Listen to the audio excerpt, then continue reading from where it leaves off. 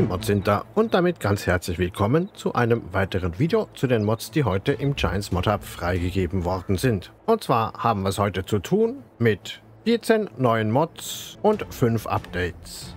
Bevor wir jedoch starten, möchte ich mich ganz herzlich bedanken bei Sarah, Barkas, Leo, Christian, Jadenis, Jens, Holger und Peter für die Abos und Mike für die 5 Euro Superchat vom letzten Donnerstag. Ganz, ganz herzlichen Dank dafür. Ich werde heute die Mods vorstellen, die am Samstag und am Sonntag respektive inklusive heute herausgekommen sind. Die vom Freitag, die sind schon zu weit weg. Das lassen wir dann einfach aus. Aber auf jeden Fall darf ich heute vorstellen auch noch eine neue Marke, die zurückkommt in den LS22. Eine Marke aus Brasilien. Die Marke heißt Bandeirante und die schauen wir uns dann natürlich auch gleich noch an. In Kombination mit den Mods, die heute herausgekommen sind.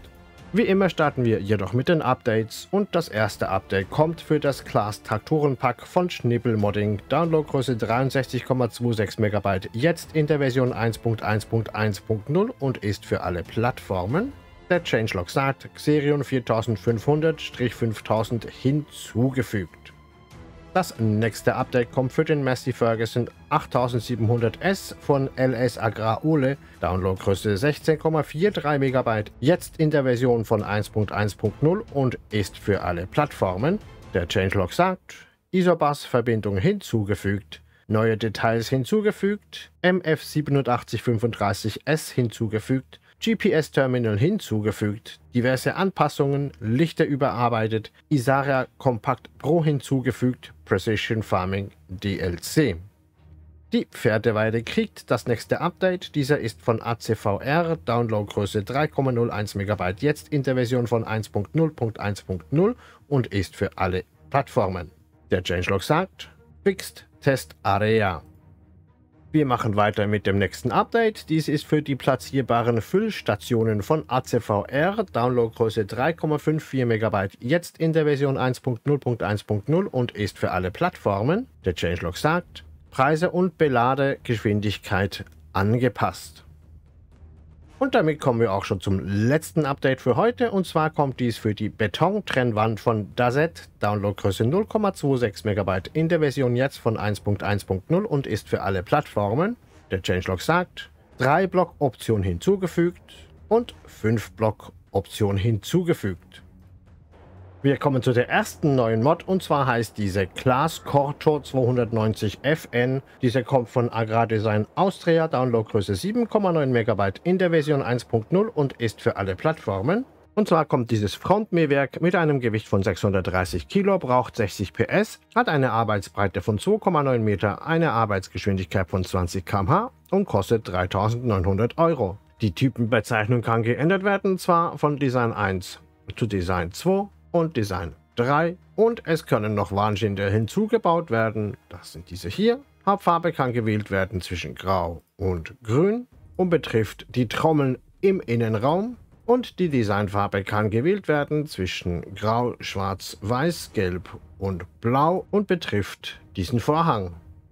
Wir kommen zum Lizard AD 7000. Dieser kommt von Langreo Modding, Downloadgröße 3,13 MB in der Version 1.0 und ist für alle Plattformen. Und zwar kommt dieser Streuer, der gebraucht werden kann für Mineraldünger und Kalk, mit einem Volumen von 7000 Litern, wiegt 2 Tonnen, hat eine Streuweite von 42 Meter, eine Arbeitsgeschwindigkeit von 18 km/h und kostet 23.000 Euro.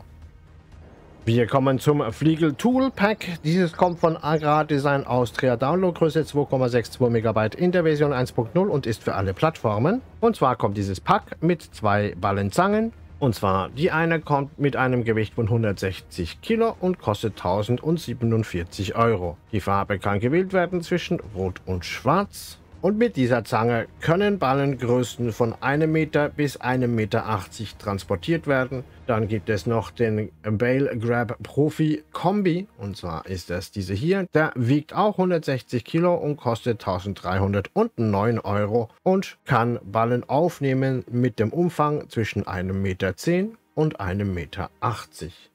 In der Mod-Beschreibung steht bei diesem hier geschrieben, dass dieser ein Gewicht hätte von 210 Kilo.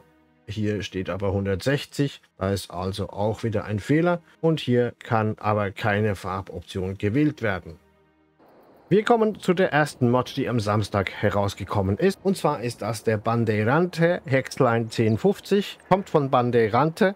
Downloadgröße 23,72 MB in der Version 1.0 und ist für alle Plattformen. Und zwar kommt dieser Frontlader mit einem Gewicht von 790 Kilo und braucht 150 PS. Der Preis 5400 Euro. Dazu kommt natürlich eine Schaufel, mit dem Gewicht von 351 Kilo und dem Fassungsvolumen von 1000 Litern. Der Preis 800 Euro. Dann haben wir einen Planierrechen, der wiegt 400 Kilo, hat eine Arbeitsbreite von 2,60 Meter und kostet 600 Euro. Dann haben wir den Big Bag Heber, der kommt mit dem Gewicht von 237 Kilo und kostet 3000 Euro. Dann gibt es noch das Planierschild, und zwar wiegt dieses 48 Kilo und hat eine Arbeitsbreite von 2,60 Meter. Der Preis 600 Euro.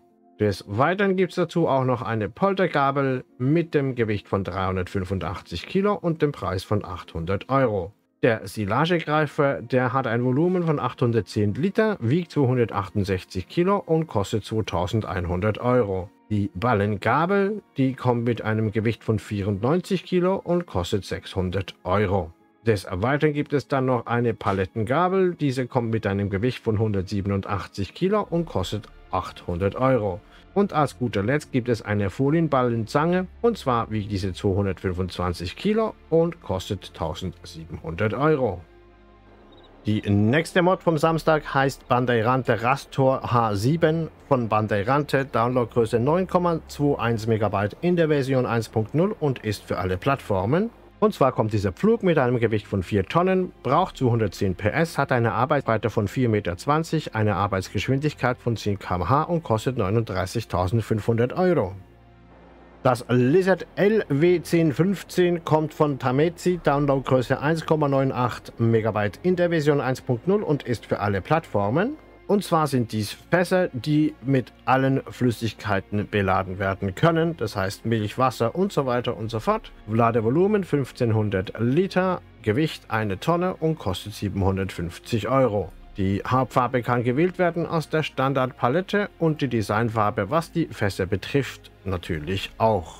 Diese Fässer können sowohl vorne als hinten angehängt werden, denn wenn man das umschalten will, von Vorwärtsbeleuchtung einfach die X-Taste drücken und dann wird umgeschaltet auf Rückbeleuchtung.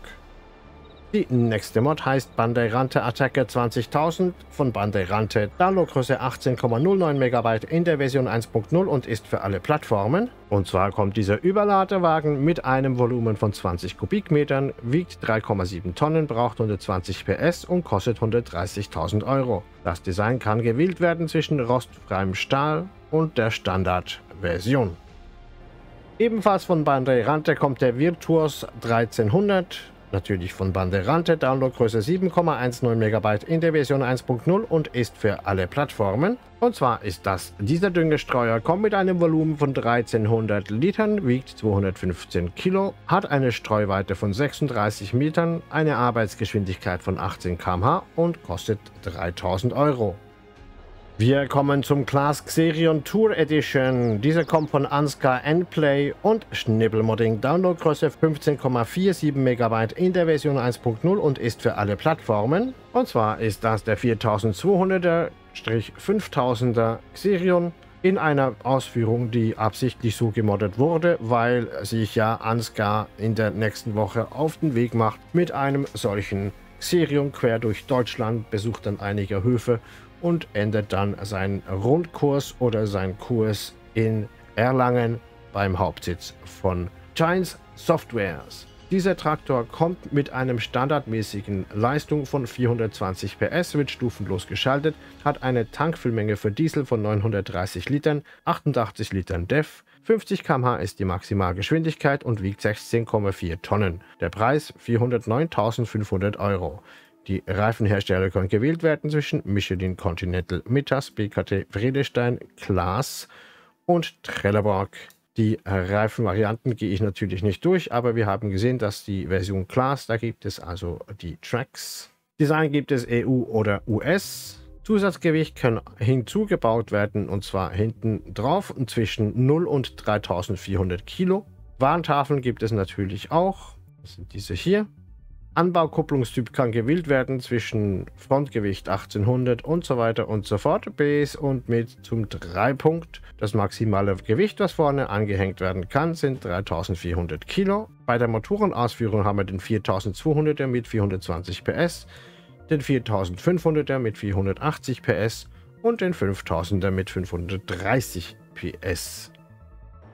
Und ich glaube, es ist schon fast wieder passiert. Und zwar kommt dieser Lizard-Anbau Aussaatgruppe von PushCup, Downloadgröße 5,12 MB in der Version 1.0 und ist für alle Plattformen.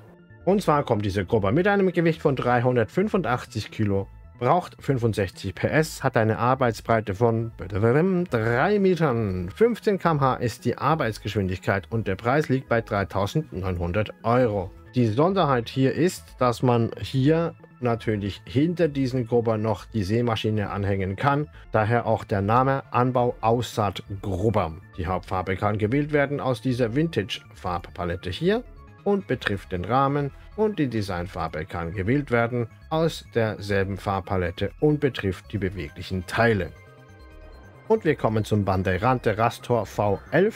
Dieser kommt von Bandeirante, Downloadgröße 19,15 MB in der Version 1.0 und ist für alle Plattformen. Und zwar ist das der große Bruder von dem einen Flug, den wir schon gesehen haben. Dieser kommt mit einem Gewicht von 9,6 Tonnen, braucht 440 PS, hat eine Arbeitsbreite von 6 Metern, Arbeitsgeschwindigkeit von 10 km/h und kostet 50.500 Euro.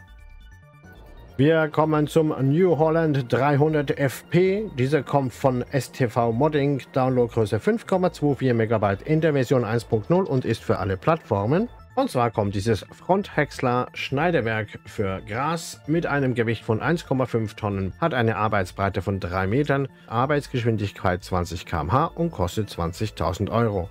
Das Design kann gewählt werden zwischen Standard und farbig. Und zwar betrifft das das Logo. Farbig ist schwarz-weiß und Standard ist weiß-blau. Die Hauptfarbe kann gewählt werden zwischen gelb und schwarz. Die nächste neue Mod heißt TLX 48 Fuß Tankauflieger, kommt von 82 Studio, Downloadgröße 37,48 MB in der Version 1.0 und ist für alle Plattformen. Und zwar kommt dieses Transportfass für den LKW mit einem Volumen von 67.240 Litern, wiegt 8,2 Tonnen und kostet 21.820 Euro. Die Konfiguration kann geändert werden von Standard auf unrealistisch was dann ein Volumen entspricht von 250.000 Liter Flüssigkeit und natürlich zurück zu normal. Die Reifenhersteller können gewählt werden zwischen Phoenix, Trilex, Vintage, Vredestein, Nokian und Continental. Dann gibt es Sonderausführung Standard. Dann gibt es Black, Black Bell, Copperhead, Silver Bee, Sad Bell und Standard. Die Beleuchtung kann geändert werden von Nein auf hinterer Ring Arbeitsscheinwerfer oder alle beide. Warnsignale gibt es auch noch. Entflammbare Flüssigkeit, zum Beispiel dann Lebensmittel, frische Milch, Milch und Wasser, nicht brennbares Gas, entflammbarer Feststoff, etc. Und da geht es weiter. Da könnt ihr genau das suchen, für was ihr diesen Tanker braucht. Lebensplanachse, das fügt hier noch eine zusätzliche Achse hinzu. Das ist diese hier, ja oder nein. Kunststoffe gibt es Nein oder Ja, hat Auswirkungen auf den Body. Fenders können hinzugebaut werden und zwar entweder vorne, hinten oder alle Fenders. Anhängerkupplung gibt es Standard oder Anhängerkupplung und zwar kann hier dann, wenn dies ausgewählt ist, kann hier dann auch noch ein Gülleverteiler angeschlossen werden. Damit kann man dann auch im Prinzip Gülle ausfahren. Die Hauptfarbe kann gewählt werden aus der für 82 Studio Standard Farbpalette und betrifft natürlich den Body. Die Designfarbe kann gewählt werden aus derselben Palette, wobei ich nicht herausgefunden habe, was diese Farbe verändert. Dann die Felgenfarbe spricht natürlich für sich und kann entsprechend gewählt werden. Und damit kommen wir auch schon zu der letzten neuen Mod von heute. Und zwar heißt diese Maschinenhalle mit Schiebetouren Diese kommt von 750 Ti Modding und Michael LS, Downloadgröße 8,67 MB in der Version 1.0 und ist für alle Plattformen. Ist im Baumenü zu finden unter Gebäude und Hallen, ist diese Halle hier, Kostenpunkt zum Platzieren 30.000 Euro und 20 Euro Unterhalt pro Tag. Hier können wir natürlich in diese Halle reingehen. Es gibt hier drei Schiebetore auf der Längsseite. Dann gibt es hier einen Lichtschalter. Des Weiteren gibt es hier natürlich noch eine Tür. Die ist natürlich nicht gebrauchbar, wenn das Tor offen ist. Dann gibt es hier noch eine Tür. Des Weiteren gibt es auch hier noch eine Schiebetür. Und hier natürlich auch noch. Das war es denn auch schon von den Mods für heute.